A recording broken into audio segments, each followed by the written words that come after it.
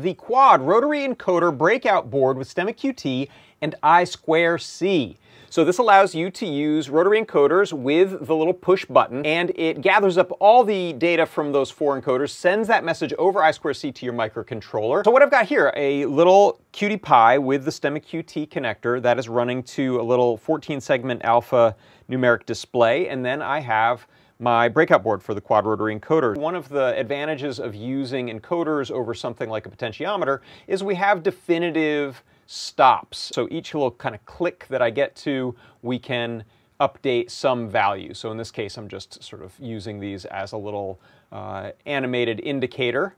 Uh, and then we also have the little push encoder, so I can click on those and get uh, the little dot sign to show up. It is the quad rotary encoder breakout with STEMMA QT over I2C and underlit NeoPixels.